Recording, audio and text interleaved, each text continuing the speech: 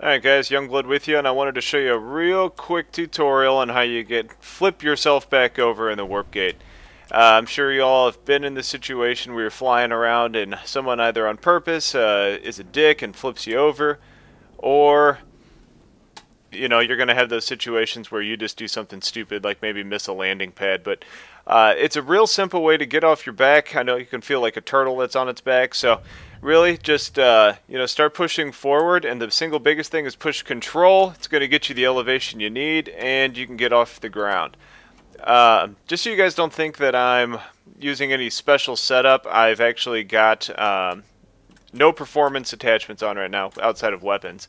So I'm going with no hover or any airframe. So it's completely stock, and you can see I landed on my back again. Uh, push W as you're moving forward, hit control, roll yourself over, and get the hell out of Dodge. Hopefully this helps you save some frustration, resources, and time. Uh, you know, you don't want to have to rely on anybody coming to help you out.